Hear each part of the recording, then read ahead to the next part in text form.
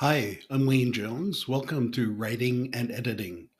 This is episode 144 One Thriller Writer's Technique Less dialogue by characters, more dialogue with book clubs. My guest is Matt Witten, who now writes thrillers for a living after spending 20 years writing for television, including shows such as Law and Order and CSI. Hi, Matt. Thanks for joining me on the uh, podcast. I appreciate your time. Thank you, Wayne. It's a pleasure. You've got the several novels. You've got a, a series of uh, mysteries that you that you published. Uh, I think there are four, five, six, maybe even more of them that you did. Uh, and but you've also been what you've got. What you've got now is a couple of thrillers from a place called Oceanview Publishing in Florida. And in fact, the second one was just published like 15 hours ago or something. so congratulations on that. And Thank by you. the way, since I, I get my books on Kindle, I was actually I read some of it today, so uh, okay. that's good. But I wonder to start before we get into uh, the the mysteries, the thrillers, and the whatever. Uh, could you give listeners an idea of not only your literary career, but you also had a substantial career in in, in TV and still do as a, as a writer as, as well. And could you give an idea, kind of a summation of that? Uh, yeah, sure. I actually started out as a playwright and uh, I wrote uh, several plays that were produced around the world. And then when I hit a certain point in my 30s, I decided that what I liked most in the world was to, uh, in terms of recreation, uh, consuming uh, uh, entertainment, was to lie down on the sofa, have a cup of tea, and read a murder mystery. So I decided that's what I love the most, even more than you know going to see a play or watching TV. So I decided I would try my hand at writing them. So I wrote four murder mysteries. It was a tremendous amount of fun. And then uh, I unexpectedly got the call from Law and Order to come to LA and write for Law and Order. It kind of came out of the blue. So I went to uh, Los Angeles. I had been living in a small town in upstate New York called Saratoga Springs. So we moved from small Saratoga Springs up to uh, large Los Angeles, uh, Hollywood, and uh, spent 10 years. I've spent the last 10 years writing for television. And then the same thing happened with me a couple uh, years ago where I thought, what do I like most in this world to consume, you know, recreationally? And it's not so much to watch a TV show, really. It's really what I like best is reading thrillers. I just love, you know, putting my feet up, cup of tea, reading a thriller. So I decided I'll try my hands at writing them. So I did. I wrote uh, this one called The Necklace. Let's see, I have it here somewhere. I wrote this one called The Necklace. It was uh, published last year and uh, it's actually optioned for a movie by Leonardo DiCaprio. Uh, things go slowly in Hollywood, so we'll see uh, when right. that happens. But Good luck. Um, uh, thank you. But in any case, it's done extremely well. It was later. Uh, it's also been published in uh, the Czech Republic. This is a picture of it. it's it's called Poprava, which means execution in the Czech Republic. And as if you're looking at this on the screen, you can see that the, the cover looks very different. It was published in Poland this is the this is cover wow. in Poland, and in Poland the title is not the necklace. The title is "I wish him dead." so it's interesting how that's done. Yeah, yeah, fascinating. It is. It is. I guess in some countries they're just so amazed that we still execute people that they like calling it, you know, execution because uh, it's so striking. And I wish him dead is certainly direct in a way. Uh, anyway, that's being published in five other countries too. And then this one, as you said, I have a book coming out today, and this is a killer story. And this is a thriller uh, that is about a, uh, a, a uh, idealistic reporter who launches a true crime podcast to investigate the murder of an alt right YouTuber she loved like a little sister, despite their political differences. And I think you asked me to speak about, you know, the other experiences besides just the uh, the uh, novel writing. So I'll just sure. say briefly, and you can, you know, follow up as you like. Uh, in the years that I've spent, uh, you know, here in Hollywood, uh, I've written for Law and Order, House, Pretty Little Liars, about uh, six or seven other TV dramas. Uh, I just finished writing a pilot for NBC, and we'll find out in February whether or not they will shoot it. Um, we've been paid very well to write it, so I'm happy about that. And now we'll find out if it actually makes the air. And I'm also writing a mystery for Hallmark, a mystery movie for Hallmark uh, based on uh, a novel called A Dark and Stormy Murder by Julia Buckley. So just turned in the outline to the producer last week, and I'm very excited about that project. I'm excited about it. So, you know, so that's my TV career in a nutshell. I've written for a lot of dramas and written uh, uh, some other kinds of things too. But you're still doing uh, screenwriting as well, obviously, as well as the the thriller writing. It's interesting when you were talking about uh, you know the what I really like doing. You were talking about lying down on the couch reading a thriller. Uh, maybe this is cliche to ask, but uh, do you like what? Why wasn't it lying down on the couch watching thrillers movies? Do you enjoy thriller movies as thriller film as well? I do. I do. I yeah. enjoy thriller movies. I enjoy thriller TV shows and, and crime shows. So I do. I enjoy that also. I I I, I enjoy that also.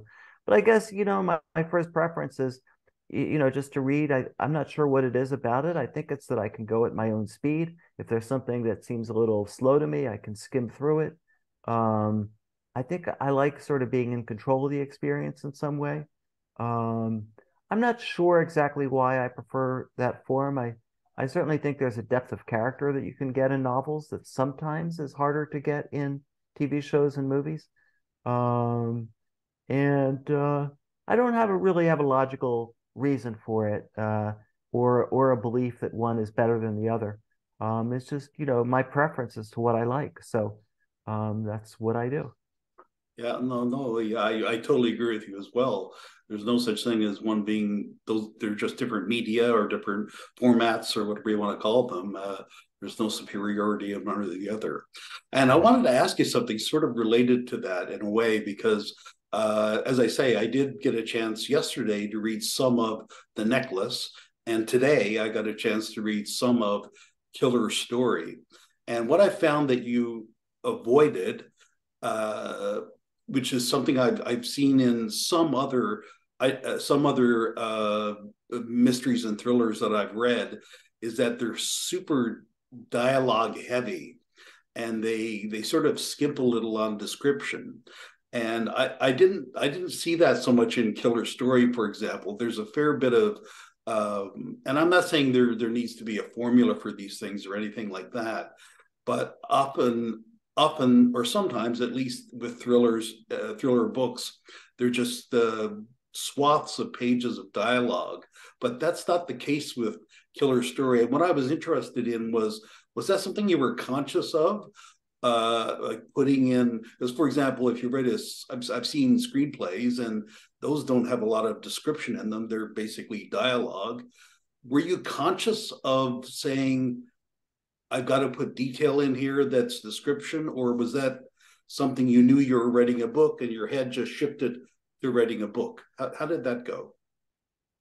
Well, uh, you know, when I started writing these two novels uh, uh, three years ago, um, it had been a long time since I'd written written novels, and I was so used to writing TV um, that when I started writing novels again, and I brought them into my writing group, they actually said there was not enough description, or they said there was not enough internal dialogue of the character.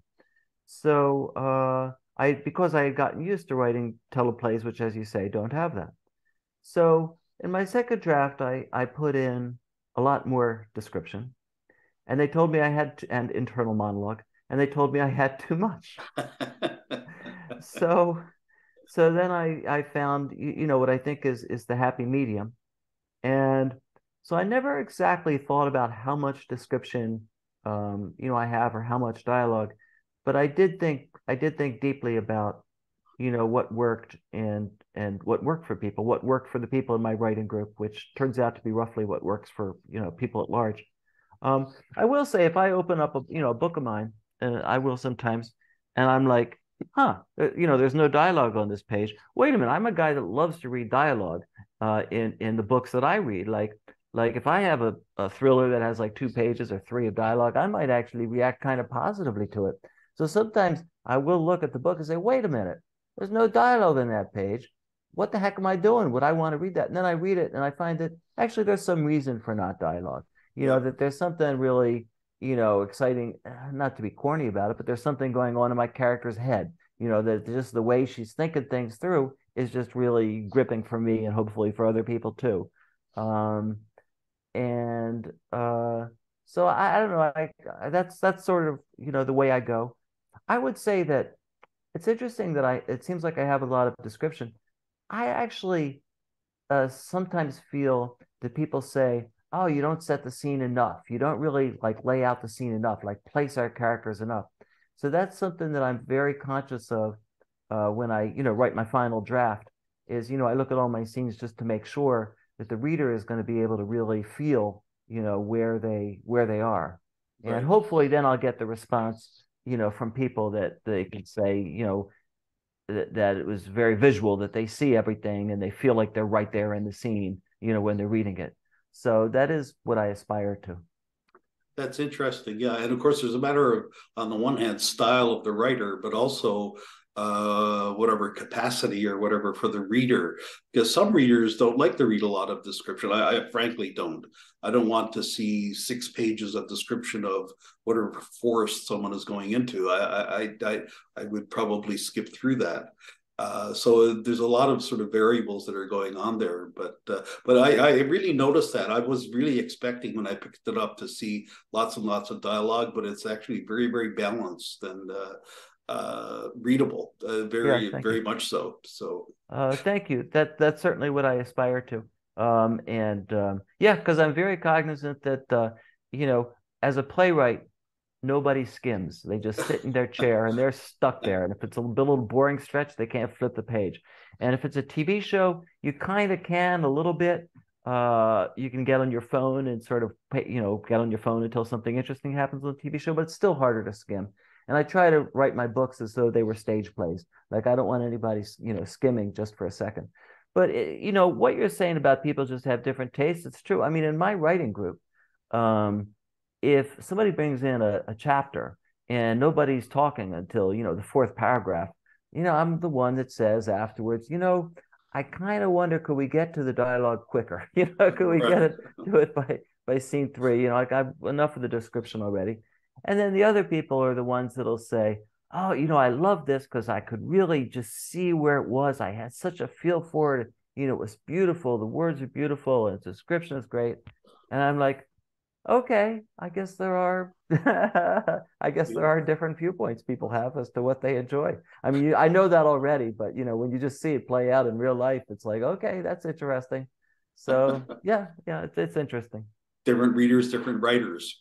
The yeah. other thing, and I'm, I'm curious about this about I, I, write myself as well, but I'm curious about this about all writers, and it's about uh, you did say something. Was, I was looking at your website, and you you had a very nice description there of your your ritual that involved hummus toast and then coming home and and doing other writing at your stand-up desk, which I thought, wow, that's that's pretty cool. And uh, but I've been tra- I'm interested in your um, logistics basically. Uh, like just say for killer story uh, are you a meticulous outliner and setting out characters writing descriptions of them and going back and referring to that? Or do you did you start with an idea and just sort of uh, take off from there so to speak?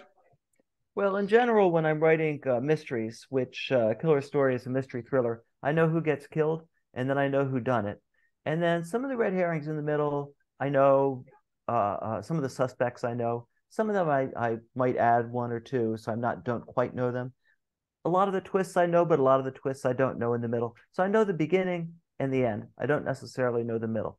As to knowing who the characters are, I'm not somebody that like writes like a couple pages about each character before I get started. Mm-hmm. But what I really like to do is I like to go on on on walks with my wife uh, in the evening after dinner and gossip about the characters. So uh, you know, for the character of Petra in Killer Story, you know, what does she like to eat? You know, how tall is she? Um, you know, what does she weigh? Um, what is she? What kind of music does she love? Um, you know, what's her relationship? You know, with her mother. Everything that might possibly play in. You know, who who's her best friend at college? You know, I just want to know everything about her. So, you know, we'll gossip about her for a long time, and it's a lot of fun.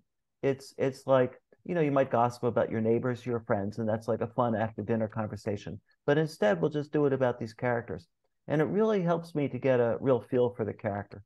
And the other thing I'll do is that I'll um, well, I'll take long walks or bicycle rides by myself and think about the character. So that's my process in terms of getting uh, deeply into who they are. Um, and No, please go ahead. Well, I was just going to tell you one funny story, or I find it funny about Killer Story, which is that um, out of all the books and TV shows I've written that were mysteries, I always knew who done it. Like I said, I always know the end at the when I start. So with Killer Story, I was about two thirds of the way into the book, and I was at an artist colony in Iceland called Gullkistan, and it was June, and it was three in the morning, and I was lying in bed um, just because my circadian rhythms were off because it's light all the time, and I was thinking about the killer, and I said the killer doesn't feel right to me. I don't know. It sounds seems he seems a little boring, a little bit not interesting. And I said, you know, it's kind of weird. We don't meet him early on because one of my main things about writing a mystery is you got to meet the killer earlier on, early on, or else it will seem like um, he came out of nowhere. Like when he finally turns out to committed the murder, it just won't be satisfying. So the killer wasn't appearing in my book until page 80. I was like, you know, man, that's too late.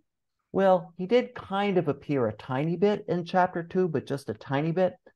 I said, so he does appear early but I was kidding myself. He wasn't appearing well.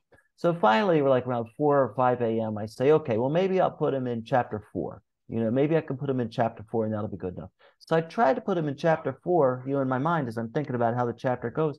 I couldn't figure out where to put him because no matter where I put him, it felt like he was breaking up the action. He was superfluous. He was just not an interesting character.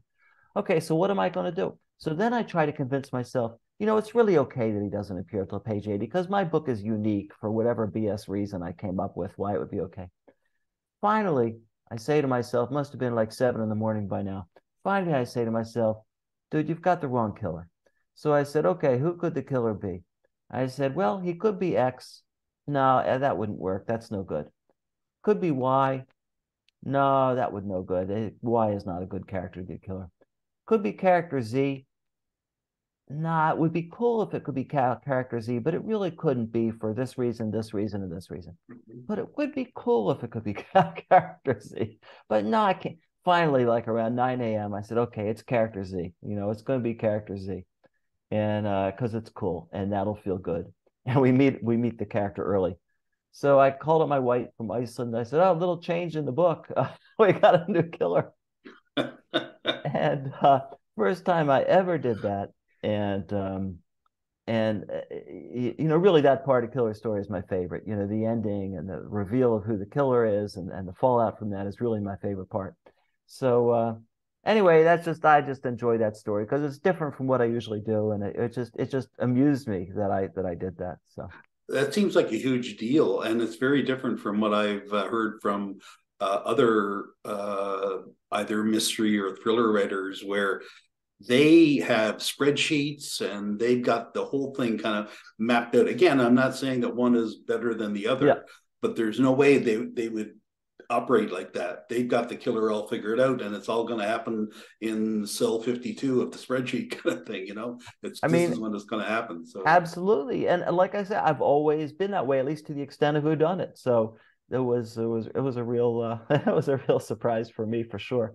You know, one one TV show that that I really liked the first seven episodes of was the, was uh, True Detective, uh, which came out about six or seven years ago, and really great first seven episodes. It was on HBO, starred Matthew McConaughey, so good. And then episode eight, the final episode of season one came, and the killer turned out to be some dude. He was like a janitor or something that we'd seen barely in the back of the screen, like once in episode three.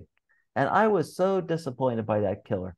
I was so aggravated by that last episode like you know that I mean I've never watched a True Detective season since then because it, it ticked me off so much. So you know I I you know I, t- I take this this very seriously the structural elements. I was working on one TV show which um, I don't think I'll name, but I was working on one TV show, the pilot of it.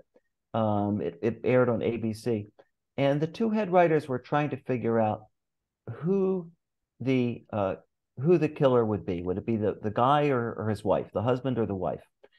Now, I knew that the audience would never give a darn which of them it was because they had not been introduced into the show until it was either the end of Act Two or the beginning of Act Three, uh, mm. around the middle, the midway point of the of the show.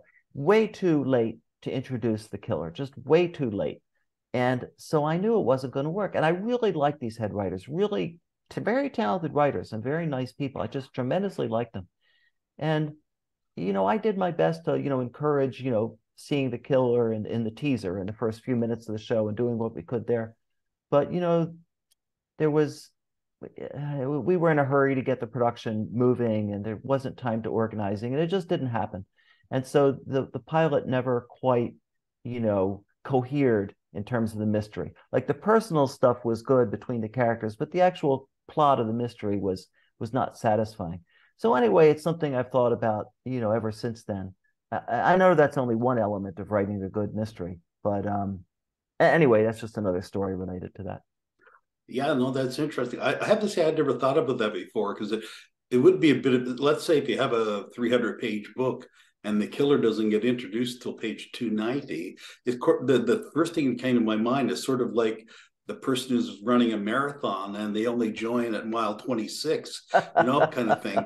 And and that it, it does it's a bit of a cheat because uh it's easy any it, it's easy well not easy but if you know what i mean uh the part of the great thing about a thriller or a mystery is that the person is always there throughout but you're never but maybe uh, you don't figure out that that's the person. But if you put them on page 290 of course no one has found out because he's only been there for 10 pages it's it's totally unfair. Well i'll give you a cheat code for the next uh, uh, crime show, murder show you see on tv if you see a superfluous character in the teaser or act one that's the killer. So for instance if the two cops come to the house to interview joe let's say joe is the um, is the, is the husband of the victim and for some reason there's some guy opening the door you know, Fred, who's maybe, let's say, Joe's brother. And there's no reason for him to be there. They open the door and they say, Oh, you want to see Joe? I'll call him Joe. And then Joe comes from downstairs, and then Fred maybe listens for a while. Maybe he leaves. You know, Fred is the killer because, because it's the uh, it's this it's the TV writer just knowing I got to have that guy you know in the show early. So you know, usually if you write it, you know, a TV show like that, you you try to do it more artfully. So so he's the, the character is not superfluous. But anytime you do see a superfluous character, ninety nine to one, that's the killer. Yeah, and that's you mentioned a good term there, artfulness and nuance and artistry and sort sort of things like that. It's not just about sort of covering it up, so to speak, but um, those things are important. That's the basically what separates good writing from bad. I, I, wanted to take a little bit of a turn, and you just you just briefly referred to it, but I was really interested in that thing you mentioned, the Gullkistan residency in Iceland. Right. Was that a, was that a situation where, uh, if you don't mind saying, where you simply had a residency and you were writing and you spent a lot of time in solitude, or were you also there as you have sort of writers and residents at public libraries where uh, people in the community also come and they have manuscripts that you evaluate, or were you simply there to do your own writing? I was simply there to do my own writing, and it was uh, terrific. I've been to several writers' colonies in, in my life. This was my first one in about uh, probably 25 years, because when my kids were born, uh, I could no longer uh, go away somewhere for a month to go to an artist colony or a writer's colony. But um, you know, it's just a place you go and it's just quiet and um, you just write. And depending on the particular colony, there might be uh, a few other writers there, or perhaps some visual artists there. And uh, so you have a little bit of socializing, you know, at dinner. Sometimes you share dinners. It depends on the situation. But sometimes you'll share dinners that maybe you'll make for people one night and somebody else will make another night. Or sometimes the place itself will make dinners. Like when I've stayed at Yaddo, the writers' colony in uh, Saratoga, uh, artist colony, um, they provide the dinners. Um, but it's just it's just a place to go in solitude, away from your laundry, away from you know the demands of your usual social life. Uh, you have to you know keep it low on the uh, on the internet, but um, away from the demands of your in-person social life, and um, it's very it's very peaceful. I think that being in Gullkistan in Iceland for a month uh, was responsible for my you know, really being able to write killer story is a good book because for me to be, you know, lying on, you know, lying in bed there from, you know, all night and just have all the time in the world to think about it, you know, enabled me to really take a step back from the book and think about what's really cool. And I think it's possible that if I had not done that, I would have stuck with my original murderer and I would uh, have a much worse book. And you know that's advice that I always you know give writers is to you know really take some time to step back you know reasonably often in the writing process and take a walk, take a bike ride, take a swim, uh, lie in bed, whatever is useful, and just think what is really cool about my book. You know what do I love about my book? What am I trying to say in my book? What's what's my theme? Mm-hmm. Um, also, what's unique? What do I bring to it? Um, what do I care about? So, um, so anyway, I, I, whatever whatever means you have, whether it's going to Iceland or or or just you know uh, taking a long weekend where you don't really see people, um, I think is a good idea. Yeah, definitely. Rather than just sort of powering through like it were a, a project at work or something like that, right? I right. I, I mean, need... there's certainly a time for powering through. I mean, I I appreciate that too because sometimes if I if I power through, then I don't lose momentum and I forget who my characters. I do, I don't forget what they're doing. You know, it's it's because when you go away from a from a project and then you come back a week later, it's so hard to get going again. So there is. So I guess it's like a combination of powering through, but then finding the times to take a break. Like I might power through for 170 pages of the book, and then something tells me that I just need to take a stop, to stop and take stock of what's going on and see what I think. So I don't mean to contradict myself by saying powering through is good, but I think there's I think there's value in that also. Yeah. The last thing I wanted to ask you about uh, is um, I was also interested. I thought that you have a very good website with very full information about it, you know all sorts of things and many activities including blogging that you're involved in but i was also curious about the the your your uh, reach outs to uh to book clubs and uh uh where you uh I think you'll even meet with certain book clubs. This is for listeners who don't know. There's probably lots who do know about. You know, often you know there might be a half dozen people who meet they read the same book they come together and there's questions and even some publishers will publish in the back of the of a novel now a list of questions for discussion by book clubs. I once had a gig like that, by the way, when I was working for Penguin about 20 years ago, where for $200 a book, they pay me to come up with 10 questions uh, for book clubs. That was, that was, that was a long time ago. But that it was, sounds like a fun gig. It was a good a good gig for a while, yeah. And but so I'm interested in how those have gone. Have you had cases where you personally show up at the book club or is it by zoom or how, how, does it all work?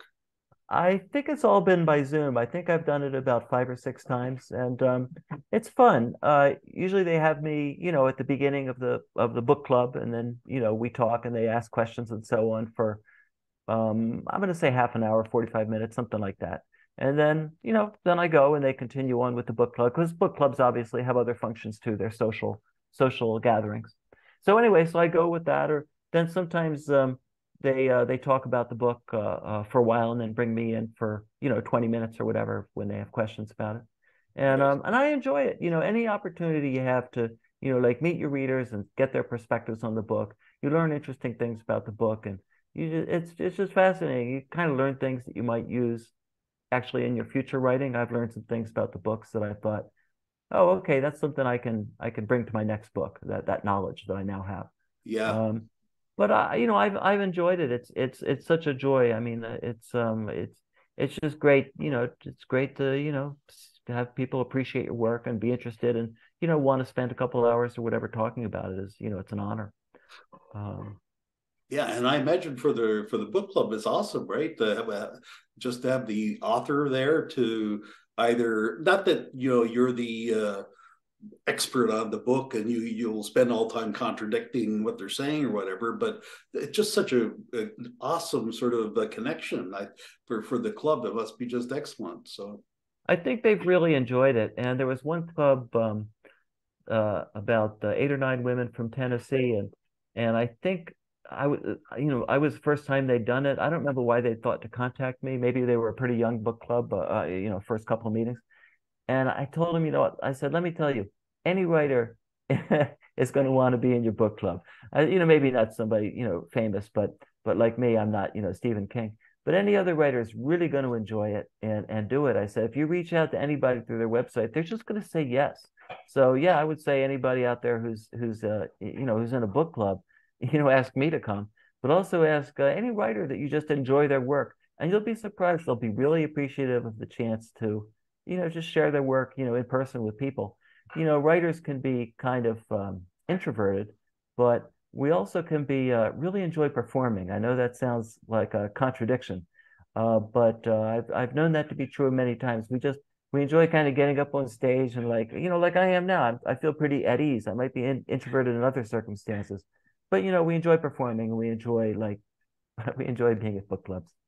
Right, and the whole, of course, the whole thing about writing a book is uh, putting the results of a performance out there. You know, a, a writer is interested in expression, so uh, and that could come in many forms. Matt, uh, this has been really excellent. Uh, I learned uh, uh, some things I didn't know about you and about the process. The whole thing about the um, the the the killer having to be early, I I never really thought about that before, but it's a good point. Uh, congrats on your 16 hour old book. I hope it sells well. And uh, thanks for doing this. Thank you, Wayne. I really enjoyed it. Enjoyed talking with you. And that's all for this episode. Thanks for listening. Check out the show's website at writingediting.ca to find links to subscribe or contact me and how to rate or review the podcast. I'll be back on Saturday for another short feature in the series, One More Word. Please join me.